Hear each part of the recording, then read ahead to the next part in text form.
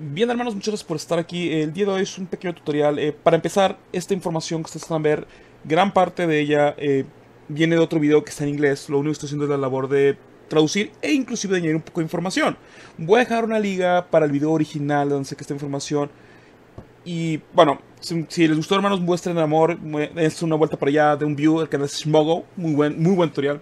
Pero la pregunta es aquí hermanos, ahora sí entrando en tema me llegaron el comentario en Twitch. Oye, stop, deberíamos hacer algo con pixel art. Que un chavo quiere hacer pixel art, le mando un saludo a Jairo. Dije, ok, está genial. Existe una gran cantidad de herramientas especialmente diseñadas para lo que es el pixel art. Ustedes, si no sabes lo que es el pixel art, es este pequeño estilo visual de cuadros coloreados que se vio más que nada en el aspecto de los videojuegos. Durante varios, varios años no se podía producir líneas rectas o pueden ser círculos perfectos gracias a las limitaciones gráficas. Entonces, muchos de los artistas de ese tiempo tuvieron que encontrar la manera de poder hacer imágenes utilizando simples, simples cuadros. Entonces, ellos tuvieron que hacer la combinación de empezar a juntar varios cuadros y empezar a cambiarles el color para poder dar una forma o algo diferente. Hoy en día el pixel art es más una decisión. Sí, podemos crear imágenes con líneas y cuadros y círculos perfectos, pero a varias personas les gusta ese aspecto, les gusta ese estilo y su servidor es uno de ellos. Ahora, sí, como dije, existen varias herramientas e inclusive varias conocidas como lo puede ser Photoshop, puede serlo inclusive eh, Illustrator, puedes modificarlo, de hecho se dan cuenta esta herramienta es un poco como Illustrator, Illustrator, o inclusive hay una herramienta directamente en Steam que ustedes lo pueden buscar, también voy a dejar una liga a dicha herramienta eh, es 100% diseñado para lo que es estilo visual. Te permite no solamente hacer cuadros, te permite hacer triángulos, hexágonos, todo ese tipo de jazz. Que se llama Marmoset, si no me equivoqué en el nombre. Marmoset Hexel. Hexel, el nombre chido. Entonces, esta herramienta tiene una gran diferencia de que es especialmente diseñada donde estas dos, donde estas dos son realmente herramientas que son para modificación gráfica, visualización, efectos, todo ese jazz eh, tienes que modificar ciertas cosas para que funcione. Esta es directamente diseñada para eso. Ahora, estas tres comparten una característica muy particular, que estas tres cuestan dinero. Estas tres cuestan mucho dinero. Ese es el mayor problema, el mayor problema de utilizar las nuestras herramientas. Un segundo, ándele. ¿Cómo no? Eso gasta mucho dinero. Entonces, si uno no tiene el dinero para empezar a modificar todo eso, uno busca características o busca, bueno, digamos de opciones, ¿no? Entonces tenemos, por ejemplo, una herramienta que también recomiendo mucho si quieres empezar en esto, es GIMP. GIMP básicamente es el Photoshop para el pobre, y nadie, y nadie, y nadie se te mal al respecto. Pero esta que están viendo aquí que es la que vamos a utilizar ahorita para este tipo de trabajos, que de hecho ni siquiera es la más viable, es un poco rara. Este se llama Inkscape. Inkscape, voy a dejar también una página más para que puedan checarla. Inkscape, la gran ventaja de estas dos es que estas dos no cuestan dinero, no cuestan dinero. Y se dan cuenta, viéndolo así como me estoy moviéndole, es un poco bastante versátil. Estas dos no cuestan dinero no cuestan dinero, son totalmente gratuitas, legales. No creo que van a descargar un parche o que van a tener que hacer algún tipo de modificación. No, son 100% legales. Ahora, ¿por qué recomiendo Inkscape más que otras herramientas? Bueno, porque esta herramienta también sirve para hacer lo que son vectores. Los vectores, hermanos, a grandes rasgos se dieron cuenta ahorita que hice unas pequeñas modificaciones. No se preocupen, esto estamos viendo. Si les interesa, podemos hacer alguna otra cosa. Pero la gran ventaja de Inkscape es que trabaja fácilmente lo que son. Ahí está. Lo que son los vectores. ¿Qué son los vectores, hermanos? A diferencia de las imágenes que ustedes están acostumbrados, son imágenes que, si se dan cuenta, yo puedo agarrar, puedo hacerlo lo más chico posible del mundo, o puedo hacerlo lo más grande del mundo, y si se dan cuenta, nunca pierden calidad. Eso es porque los vectores realmente son cálculos matemáticos que puedes traducir o puedes escalar a cualquier tamaño. Entonces, si tienes una imagen, esta es una hoja blanca, es una imagen que te piden para, oye, eso ocupo un, un espectacular, simplemente lo agrandas y listo. Funciona perfectamente. Es por eso que yo recomiendo esta herramienta. Pero bueno, eso es tema para otro día. Entonces, hermanos, no, este no es un tutorial como tal de Inkscape como tal sino es cómo utilizar esta herramienta para hacer pixel art. Esa es la verdad pregunta, cómo trabajamos con esta herramienta. Primero tenemos que preparar el documento, ¿no? Ya te vamos a explicar las herramientas, pero tenemos que preparar el documento. Este es el tamaño de una hoja en blanco que todos conocemos e identificamos.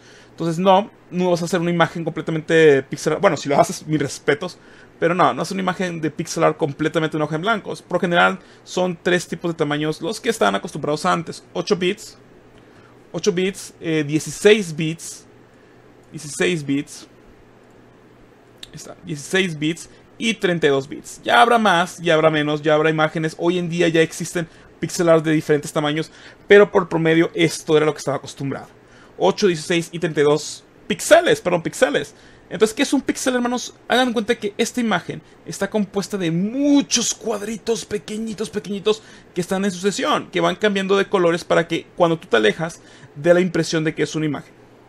Ese es el grande rasgos. Necesitamos hacer que esto esté hecho de puros píxeles o esté hecho de cuadros, lo cual está, pero necesitamos achicarlo. Para eso, ahora sí empezamos con lo técnico. Nos vamos aquí donde dice archivo. Yo los tengo en inglés, hermanos. Les recomiendo que toda aplicación que ustedes utilicen se acostumbren a usar en inglés porque la documentación la documentación es mil veces más fructuosa si está en inglés. No por el asunto del idioma, sino que más gente está preparada para que cualquier otra persona de otro lado del mundo pueda entrar. Es un piso común. Bien. Entonces vamos aquí donde dice propiedades de documento. Una vez más, estamos en archivo, propiedades de documento. Y les va a salir esta, esta tablita es la chida. Esta tablita es la chida. Aquí se dan cuenta que hay muchos tamaños diferentes. Que si yo le presiono, se dan cuenta que cambia el documento. Este es el documento. Entonces, esto es con lo que vamos a empezar a jugar. Pero hay un pequeño problema que tenemos. Se dan cuenta, todo dicen milímetros. Y aquí no voy a encontrar uno que me diga pixel art, entonces no nos sirve nada de esto. Pero aquí abajo me permite poner un tamaño específico. Primero y antes que nada, necesitamos cambiarlo. No me importa milímetros, necesito cambiarlo por píxeles. Hay varias opciones, en centímetros, pulgadas, puntos, PC, no sé lo que es PC, eh, milímetros o lo que es px, que es el que nos interesa, píxeles. Entonces nosotros aquí te das cuenta cuántos píxeles eh, son, cuántos milímetros. 297 milímetros son igual a 1122 punto y un desmais de números de píxeles. Entonces no nos sirve. Digamos que queremos una imagen rápida y sencilla, ¿no? Una de 16. Vamos a ponernos un poco, un poco ambiciosos. Recuerden, puede ser cualquier tamaño realmente, pero ¿se dieron cuenta la diferencia de lo grande a lo chico que hubo aquí? Ok, esto es lo que me interesa, 16 píxeles. Ahorita voy a hacer esto, te voy a hacer esta tabla, nomás que quiero empezar a jugar un poco aquí. Este cuadrito no se ve nada, simplemente ustedes mantienen presionado lo que es control y con la, con la rueda de su mouse pueden acercarse, ¿ven? Entonces ahí yo presiono aquí para moverme en panning, lo que es la rueda del mouse, panning, ven cómo cambia el, cursor, o control y el, la ruedita para hacerlo más chico, más grande. De igual manera, si ustedes no quieren hacer eso, existen herramientas para ponernos acercar, aquí está de hecho, mira, nomás hacemos así, listo. Entonces si estamos así de chiquitos y ustedes no tienen un mouse que tenga rueda, perdón, eh, se van a esta lupita. Y ahora hacen así, listo. Un poquito más. Listo, ahí está. Entonces ya sabemos que aquí hay 8, bueno, 16 por 16 megapíxeles. Píxeles. Pero hay una manera de poder trabajar esto más rápido y más sencillo. Vamos a irnos a archivo. Document Properties, de nuevo la misma que hicimos, aquí tenemos la información como la dejamos. Y aquí aparte vamos a poder modificar ciertas cosas de lo que son el documento. Primero y a mí lo que más me importa son lo que son los grids. Los grids básicamente son unas líneas que van a estar separando mi imagen o van a estar separando mi documento sin ser parte de mi imagen. En otras palabras, solamente me sirven de guías. Entonces aquí tengo dos opciones, ahorita vamos a ver la otra opción o otro video. Entonces busco uno que sea rectangular y se imaginarán por qué. Le pongo nuevo y miren. Me lo llenó. ¿Vieron? Ahora, tenemos que asegurarnos una cosa muy importante. Aquí parece que todo está bien. Tenemos que asegurarnos que sea disponible, que sea visible y que se pueda snapear. Eso vamos a ver qué es el snapeo. Aquí hay una opción. Ustedes pueden usar líneas o pueden usar puntos, como ustedes quieran. Hay mucha gente que prefiere las líneas, hay mucha gente que prefiere los puntos. Por el momento vamos a dejar los puntos como tal, o dejamos la línea. Vamos a dejar las líneas. Aquí está el origen, el origen, el origen. Algo pasa muy curioso, ¿no? Como hicimos antes, como hicimos antes el cambio del documento, antes de poner esto, lo pone lo más acomodado posible. Y como cada uno de estos, aquí lo podemos ver, como cada uno de estas líneas tienen un píxel de separación, lo acomoda en automático. Digamos que estuviera una situación un poco extraña que esta imagen, este documento no, no quedara perfectamente en el medio, ¿no? De hecho, vamos viéndolo rápido. Digamos que tenemos esta que sea... Perdón, acá. Que sea... ¿Qué le gusta? 23, ¿no? 23. ¿Se dan cuenta? Aparece un poquito acomodado. Vamos a ponerle a 23.5. Digamos que, que planeas poner algún tipo de... 5. Planeas dejar un tipo de borde, ¿no? Entonces, la gran ventaja es que ustedes pueden hacer que, la, el grid esté en el puro medio. Y ahí pueden ver cómo acomodo esto. Está la parte superior. Esta la pueden ver. Parte inferior, parte medio, todo ese jazz. Entonces, la ventaja es que ahorita estábamos bien. Solamente era para que por si acaso les llegara a pasar eso. Disculpen, hermanos. Ahí está. 16. Ahí está. Por si acaso les llegara a pasar eso, ya saben dónde encontrarlo, ¿no? Bien. Entonces, la otra cosa que yo recomiendo, y esto es mucho muy mío, digo, ciertas informaciones, sé que el video otra información es mía, es separen o cambien el color ciertas líneas. ¿A cómo pueden hacer eso? Aquí pueden ver que el minor grid es, aquí tienen 1, 2, 3, 4, 5. Aquí tenemos que minor grid cada 5. Entonces de aquí, de esta línea a esta línea hay 5 y de esta línea a esta línea hay 5. Para que sea más fácil, ustedes cambian de color, yo me tengo un rojo y un azul y ahí se dieron cuenta que ya cambió. Ahora sí, esta es una línea grande, 1, 2, 3, 4, 5. Esta es una línea grande, 1, 2, 3, 4, 5. Ok, ya con eso podemos ver, vamos a cambiar los puntos como dije aquí, sin problema. Y vemos que todo está bien. Esta es la separación de un píxel por cada uno. Está acomodado justo como quería. Mira, aquí por ejemplo. Se dan cuenta, la línea grande está aquí. Tal vez quiera acomodarlo para que la línea grande sea el inicio de esto. Hago esto. Y digo, ¿vieron? Ahora la línea grande está aquí. Y podemos verlo 16. Aquí depende mucho de tu gusto realmente. Habrá gente que prefiera que el medio sea aquí. O que empiece acá. Ya, depende. Ok, toda la información aquí pueden ver, hermanos. Como lo pueden ver. Como lo pueden notar. Ok, ya estamos todo bien. Todo eso. Aquí tenemos que asegurarnos que el snapping el snapping to grid siempre te lo snapea. ¿Qué es el snapping? Ahorita lo vamos a ver. Teniendo esas tres partes, una vez más, el tamaño de la página, que es lo primero, lo que es el grid, asegurarnos que esté disponible en tipo rectangular, disponible, visible, eh, que se permite snapear y aquí depende de tus gustos. Si lo quieres ver por puntos, si lo quieres ver por cuadros, vamos a dejarlo por cuadros ahorita. Y aquí la información esta que realmente ahí lo pueden ver exactamente. Nada más que el space sea 1, space sea 1 acomodarlo si lo quieres en el centro o si lo quieres en la parte superior. Y mi recomendación es, las líneas pequeñas tenlas de un color, las líneas grandes tenlas de otro. Listo, bien. De esto, ahora sí hermanos, ya es el momento de meternos en manos a la masa. Aquí hermanos, como se dan cuenta, seleccioné esta herramienta, la que ven ustedes a la izquierda. Esta es la herramienta de cuadro. Entonces ustedes, le doy clic, perdón, pueden, se dan cuenta cuando lo ponen en uno de los extremos, marca eso, porque está snapeando. Eso significa que si yo jalo aquí, me cumple el cuadro perfecto. Si yo extiendo más, se dan cuenta que no pasa nada hasta que toco otro extremo. Eso obliga a la aplicación siempre a ser exacto en las líneas. Por eso este cuadro, inclusive cuando lo muevo, se hace como steps. No se mueven automáticamente libre. Si ustedes quieren moverlo aquí libre, aquí tienen en la parte derecha lo que son los snappings. Lo apagas y se das cuenta, mira. Inclusive si yo creo otro objeto. Pero ¿qué pasa con esto? Esto no me asegura que sea exacto, ¿no? Pues no sirve para pixelar básicamente. Vamos a eliminar estas dos figuras. Entonces lo vamos a activar. Aquí en la parte derecha lo pueden ver. Entonces vamos a hacer una, figura. Esto es un poco más técnico, no se preocupen, pero yo recomiendo que lo conviertan de objeto. Aquí dice pad, objeto a pad, simplemente por pura simplicidad de movimiento. Eso no, realmente no afecta mucho, pero ya son partes técnicas. Y aquí, hermanos, abajo, la parte de abajo, se dan cuenta tenemos varios colores. Ahora, una pequeña recomendación propia, mi hermanos. Aquí tienen todo el documento, lo que está en medio de estas líneas oscuras. Es el documento. Afuera de ella cuando tú ya practiques un poco más, cuando tú ya estás trabajando en esto, de muchos artistas, si tú buscas eh, concept art, si buscas tú ciertas imágenes, te vas a dar cuenta que muchos artistas tienen uno que se llama paleta de colores. Varias herramientas te permiten tener diferentes paletas en diferentes aspectos, pero esta es un poco más rústica un poco más rústica. Puedes hacerlo de otra manera, sí, pero te recomiendo que lo hagas así primero para acostumbrarte. Entonces aquí puedes tener, ah, ok, tengo un verde fuerte, tengo un verde legado para las sombras, este está bien. Tal vez un gris más fuerte, ahí está. Y aquí ya puedes tú como limitarte, ¿sabes qué? Quiero que estos colores sean unos en otros y nomás sacarlos de aquí. Ok, ahora sí, digamos que quiero un negro, ¿no? Aquí tomo el color negro. Y yo puedo arrastrar este así nada más, o puedo simplemente control C, y donde apunte el mouse, mira donde apunta el mouse, control V. Control V. Control V. Control V. Control V. Control V. Y así. Empiezas a jugar un poco con esto. Ahora, ¿por qué me gusta más Inkscape por ciertas cosas? Primero y antes que nada, ¿no? Tenemos esta situación de que si tú quieres simplemente duplicar la mitad de esto, se da cuenta, por eso me gusta tener la mitad, es simétrico. Seleccionas todos estos, le presionas Control C, Control V donde quieras, copia todo, lo tienes seleccionado todo, y si tú quieres, aquí arriba hay cuatro botones, puedes voltearlo de un lado al otro. Esto no lo permite por el snapping, supongo yo. ahí está, ¿ves? Todo no lo ocupo, puedo hacerlo con esto. Y aquí tú ya puedes decir, ah, ok, mira cómo quedaría así o cómo quedaría asá. Ah, cool, me gusta esto. Inclusive tú puedes seleccionar una sola parte y moverla. Si no, güey, es que no me gusta que esté tan así, voy a moverlo un poco más para acá, también a este lado. Y ya empiezas a jugar aquí con tus, con tus tu, imaginación, básicamente. Aquí vas sacando, inclusive puede control C, control V, control V, control V.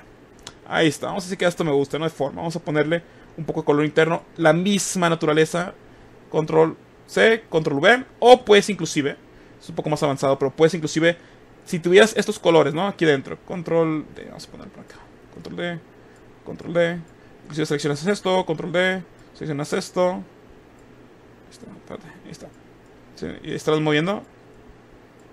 Digamos que tú en tu manía, esto ya es práctica, hermanos, con cuando ustedes practiquen, ustedes pueden hacer esto, no sirve nada para eso. Seleccionamos estos cuatro. Ahí está. Seleccionamos estos dos. Y así puedes ir llenando esta imagen como tú quieras. Puedes estar jugando con esto. Ahora, si tú quieres, por ejemplo, que alguna de estas partes sean de otro color, puedes fácilmente seleccionar este cuadro y ponerlo aquí arriba lo que tú quieras. O puedes seleccionar este. Utilizar la parte izquierda, tienes lo que es el seleccionar imagen.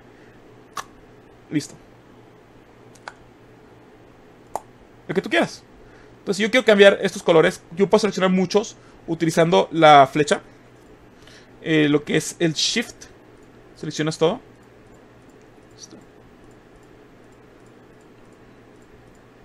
There we go. Y utilizas este. Todo rojo. Todo azul. Todo verde. Por eso también me gusta mucho tener una paleta aquí. Porque me permite hacer esta combinación muy rápida. O sea, digamos que quiero todo esto de rojo. Se me fue este, lo selecciono. Y otra vez, color rojo, no. There sencillo. Aquí podemos seguir trabajando con esto, podemos hacerlo de cualquier manera. Seleccionar uno de estos, seleccionar control C y empezar aquí control V, control V, control V, control V, control V. Porque puedo hacer también, esto es muy importante hermanos, también puedo control D, seleccionar uno y arrastrarlo. Se puede hacer, se puede hacer. Pero por facilidad de que, oye, son cuadros que yo puedo tomar como si fuera estilo Minecraft hago cuadro por cuadro. Entonces aquí seguimos. Control V, control V, control V, control V, control V, control V, control V, control V, control V, control V, control V. Entonces se recomienda también que pueda hacer un cierto como oscuridad o sombra, ¿no? Vamos a poner aquí sombras. Este lado, una sombra pesada. Una vez más. Este no. Ahí está. Este lado, una sombra pesada. Selecciono este. Ahí está. Y de este lado puedo poner algo más blanco. Puede ser un rojo más blanco o puedo simplemente poner un blanco como tal. Entonces ponemos esta. Ahí está, bien, se ve bien, ¿verdad? Se ve bien. Ahí está, hermanos. Entonces, esta es una forma y otra cosa. Ahí está. Si se dan cuenta con selecciono, se ven todas las separaciones, todos los cuadritos. Y eso es todo, hermano. Realmente aquí empiezas a jugar con tu imaginación. Esta imagen es de 16 por 16 que damos.